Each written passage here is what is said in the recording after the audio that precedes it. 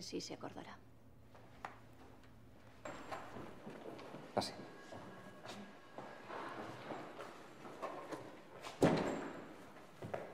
Muchas gracias por recibirme. La he recibido por cortesía, pero le aseguro que se trata de un tema del que no me gusta hablar. Ni a mí me gustaría remover sus heridas. Hay heridas que no se cierran. Pero todavía no me ha dicho que tiene que ver su paciente con todo esto. Creo que mi paciente estuvo allí, donde murió su familia. Eso es imposible. Fue una masacre, no hubo supervivientes. Sí, lo sé, ya lo sé.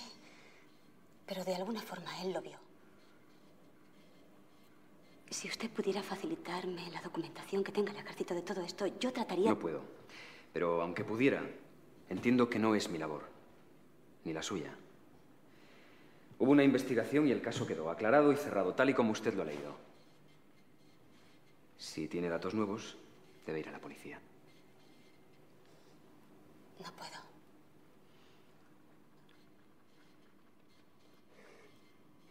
No tengo tiempo de hacer las cosas de otra manera. Mire, no sé lo que le pasa o le ha pasado a su paciente, pero creo que de todo esto no tiene usted ni idea. Y seguiré sin tener ni idea si usted no me ayuda. Perdóneme, pero todo esto me parece absurdo. Respeto su trabajo, pero sobre este caso se ha escrito mucho en la prensa. Probablemente su paciente lo leyó y está inventando. Espere solo una cosa más. Me gustaría que viese lo que él dibuja continuamente, de una forma obsesiva.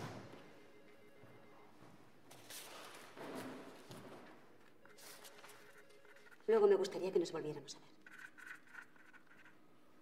Aquí tiene mi teléfono.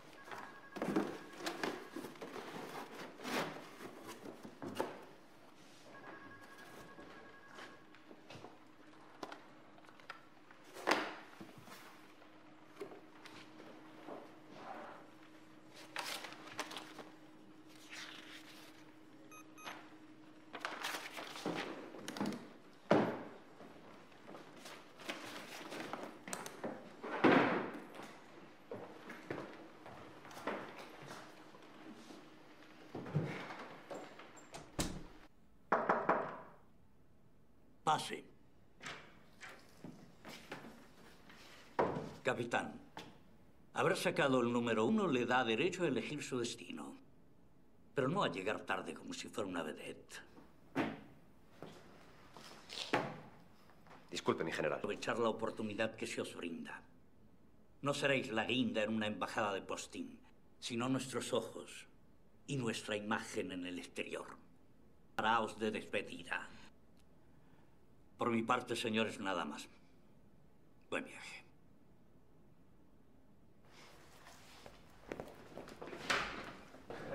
Álvaro.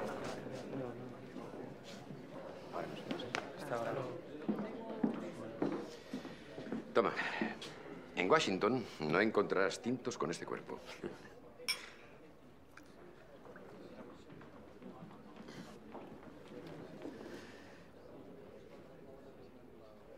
Te voy a echar de menos.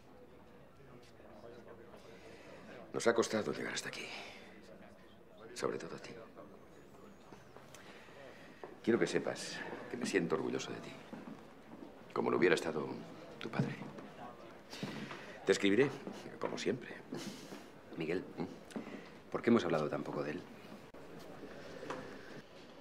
¿Sabes? Todavía me acuerdo de la primera noche que pasé interno en el colegio. Al menos no me faltaban tus cartas. Pero bueno, Alvarito, ¿qué te pasa? La moral que te enseñaron en la academia no es para bodas y bautizos, sino para los tiempos difíciles. Tengo que hablar contigo antes de irme. Claro, claro. Cuando quieras. Pero ahora, arriba ese ánimo. Hoy tenemos muchas cosas que festejar. Venga, Sánchez, vamos. Los hombres están hambrientos. Enhorabuena. Es lo que todos esperábamos de ti. Gracias, mi general. ¿Se lo has contado? No. En un par de meses el general Sánchez me sustituye. Él va a recibir tus informes. Ascender o morir. Ese es nuestro destino. Vamos.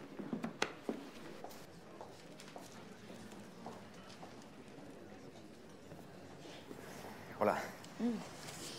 Hola.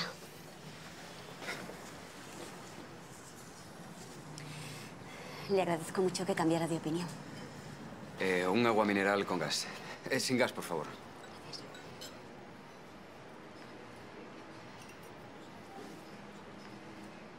Quiero que me lleve a ver a ese hombre. ¿Cómo sé que no ha avisado a la policía?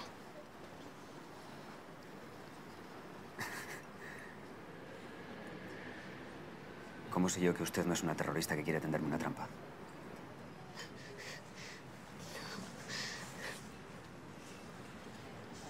Pongamos las cosas claras.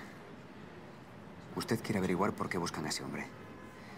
Yo quiero saber todo lo que haya que saber sobre la muerte de mi familia. Lléveme con él. Consiga que hable conmigo y yo le ayudaré a que no le pase nada.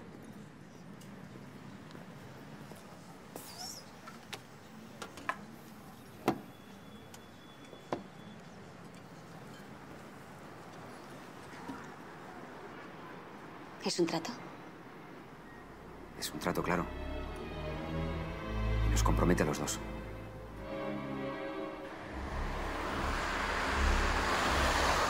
Era el lugar habitual donde mi padre y sus compañeros se reunían para tomar algo.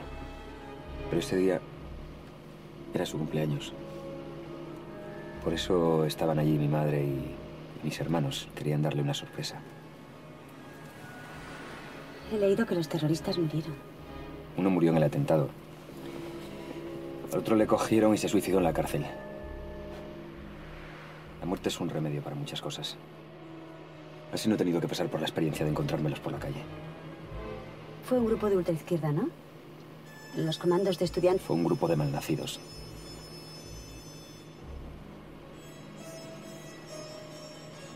Ya falta poco.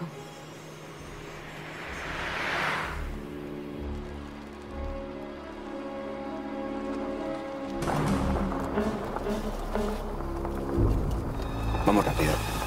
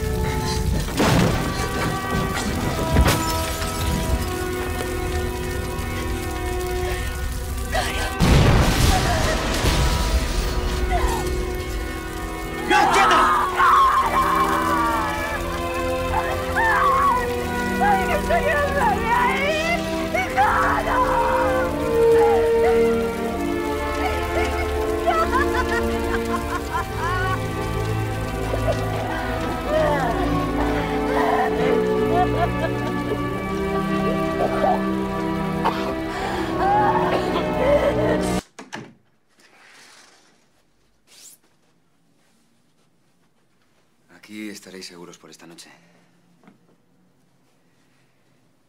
Tienes que estar tranquila, nadie sabe dónde estáis.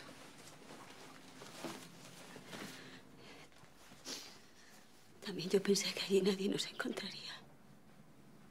Y ahora Coro está muerta. No sé qué decirte. Haremos todo lo que haga falta. Yo voy a estar a tu lado, te lo prometo. por qué lo han hecho.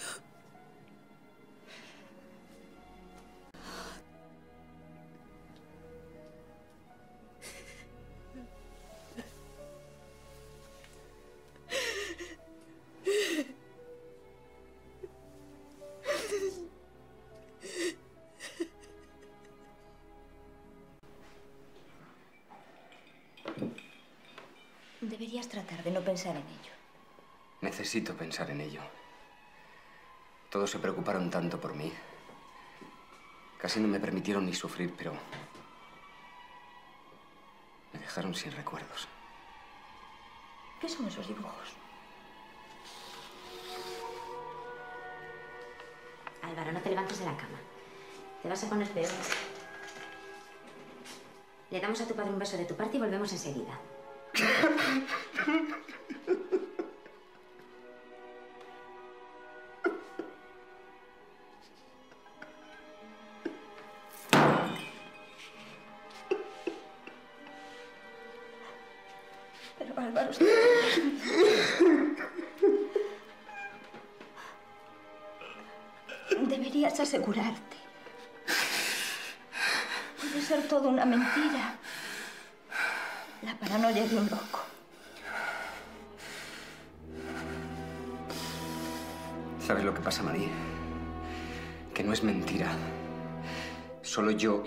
estuviera allí sabía que mi hermana ese día le llevaba una tarta de cumpleaños a mi padre.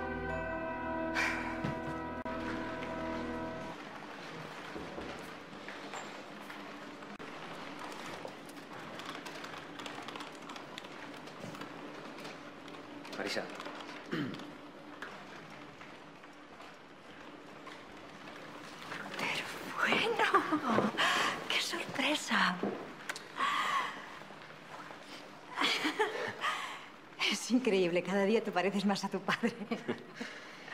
Eh, Marisa, quería pedirte un favor. Me gustaría ver la documentación de mi padre, sus papeles, no sé, lo que se haya guardado. Se lo llevaron todo, Álvaro. Sí, pero después de la investigación ese material debe volver al archivo, ¿no? Aquí solo se guarda el informe oficial.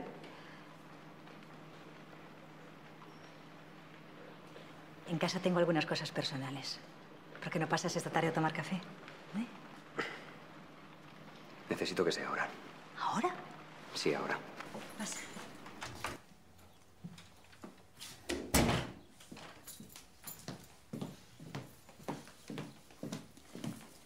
Te preparo un café, ¿eh? Anda, siéntate.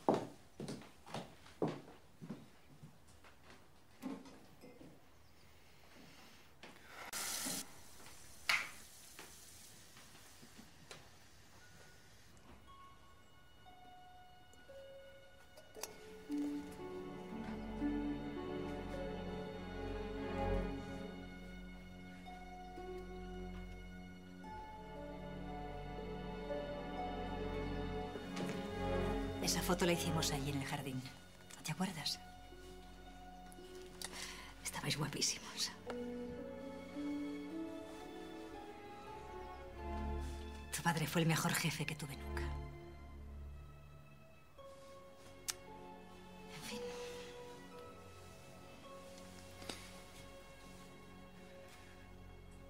¿Por qué no puedo ver sus cosas?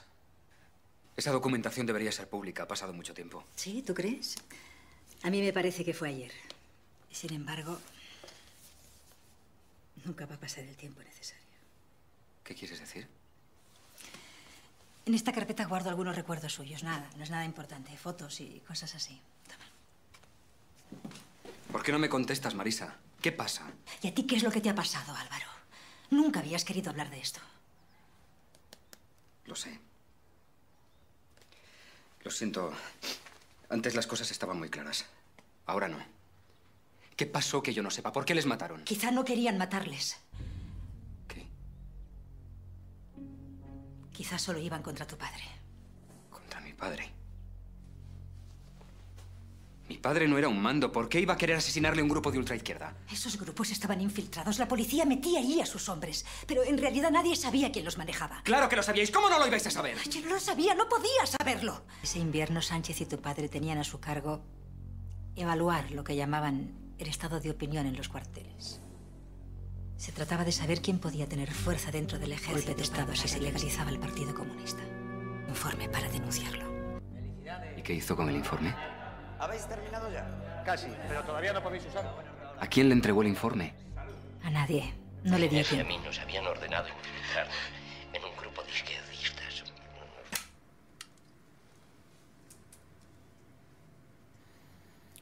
Hay que encontrarle.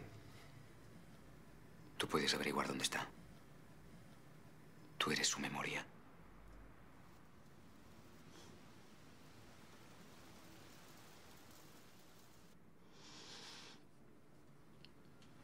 Solo sé de un sitio donde puede estar. Mírame. ¡Álvaro! ¡Tú los mataste, cabrón! Mi madre no tenía 40 años. Mi hermana dormía con una muñeca, hijo de puta. ¡Eres tú! ¿Y tú quién eres tú? No eres nadie. Se presentó de repente, después de 20 años, como si no hubiera pasado el tiempo. Yo no sabía qué hacer.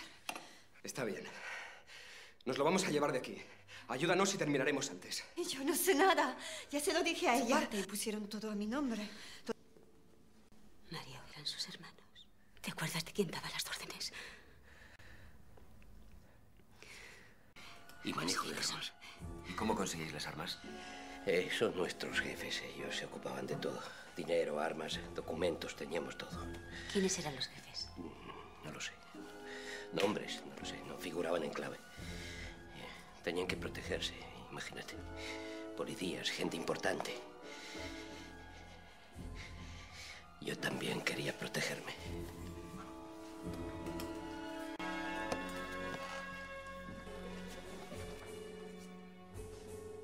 ¿Qué son? ¿Órdenes? ¿Lugares? Sí, creo que sí.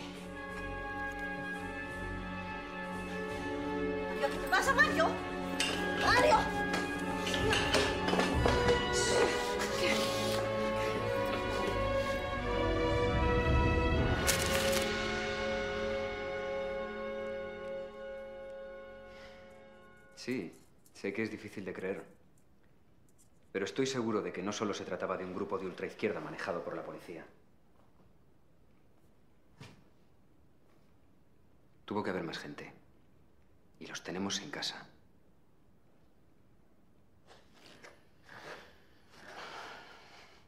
Mira, Álvaro.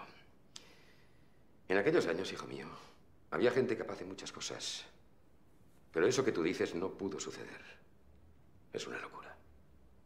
Tú estabas a su lado. Trabajabas con mi padre. Ya no es momento de ocultar nada. Nada puede hacerme daño. Suponiendo que tuviera razón, ¿qué podríamos hacer ahora? Esos que tú piensas que lo hicieron serán ancianos retirados o viejos al borde de la tumba o de la cena. No, Miguel. No es solo eso. Es gente con poder para matar. Van a hacer todo lo posible para eliminar a ese testigo. Tú sabes perfectamente que no se trata de gente acabada. Capitán, no se precipite. Estudiaremos hasta el último detalle. Pero con seriedad, con pruebas. Y con discreción absoluta. Ahora lo más importante es proteger al testigo. Hay que llevarle a una de nuestras casas donde pueda estar vigilado.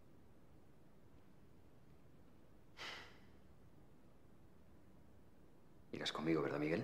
Claro. Llegarás hasta el final. Yo siempre llego hasta el final. Pasa.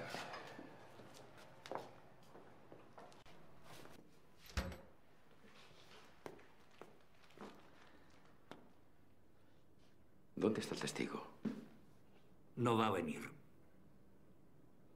No va a venir, pero te manda esto.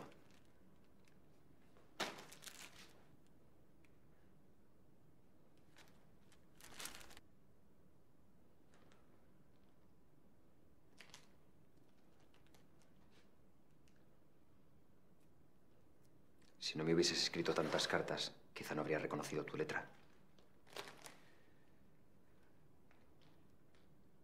¿Qué juego es este? Fue así como diste la orden de matar a mi padre. Yo no di ninguna orden. Yo solo las acumulo. Eres un maldito hipócrita. Hice lo que tenía que hacer. Lo que tenías que hacer era tu amigo. No. Era más que un amigo. Era mi hermano, mi camarada. Y era un traidor. ¿Por qué mierda tuviste que meter las narices en esto? Mira que he intentado protegerte. ¿Cómo has podido? ¿Y qué crees que has conseguido con todo esto, además de torturarte, Alvarito? ¡Óyate, cabrón! Álvaro. ¡Te mataría aquí mismo! ¡Álvaro! ¿Pero qué es lo que quieres, Sánchez? Esto nos hará mucho daño a todos. Tú lo sabes. Esto es lo que dirás, ¿no? ¿Qué haces? Miguel.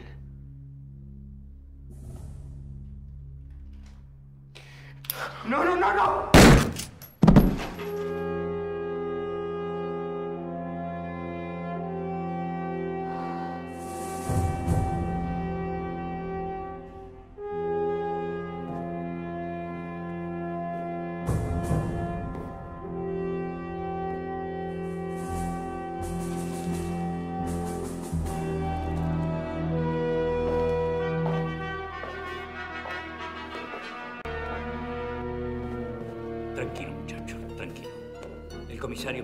Yo nos encargamos de todo.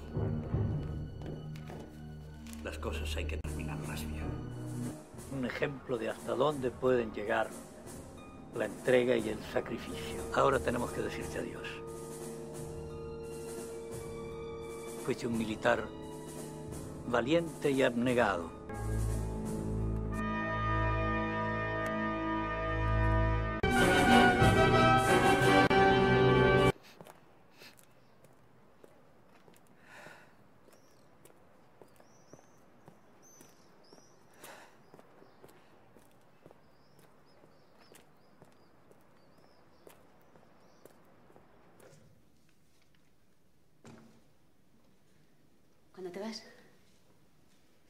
No me voy.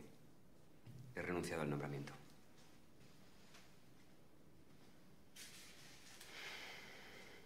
¿Y tú? Yo también me quedo.